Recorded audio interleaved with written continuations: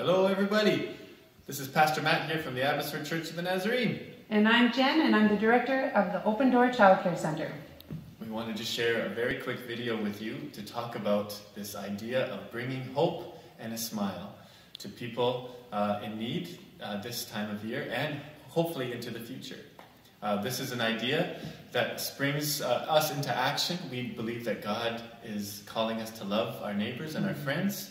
And how do we show that?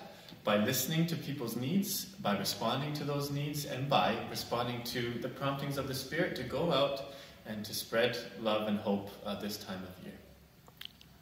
So there's lots of ways we can do that. Uh, and how, how can we, Jen? How can we uh, show hope and give hope and a smile at this time of year?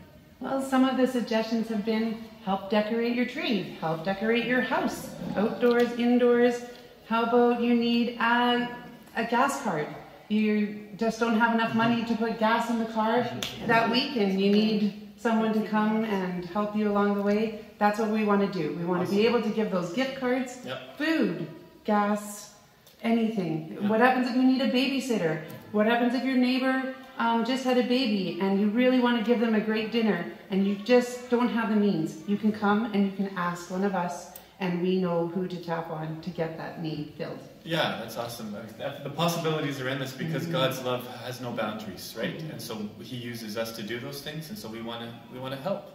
Um, and so we can do that by uh, we're going to have a box set up in our foyer, and there you'll be able to uh, anonymously uh, provide a need. Like maybe you don't want to share it with the world, and you don't want to say who it's for, but you want to say uh, there's a need and we will respond to that. You can give a suggestion about how others can help. Mm-hmm. And it's just about connecting people with people, right? Um, we know that people already demonstrate compassion to others, and we don't want to just encroach on that. Uh, we want to help us all do this together. So this is what this is for. This is what it's about. That's right. Yeah. And beside that box, we're going to have little cards, and they say hope and a smile. Yeah. And we just want to have that for you. And if you want to have something tangible to give someone, mm-hmm. then we have that card for you. And there's our information on the back and that way you have more means to get a hold of us yes. at that time. Awesome. So thanks so much, and I hope uh, this video finds you well, and that you understand uh, really that we just want to continue with the love of God, spreading hope and a smile.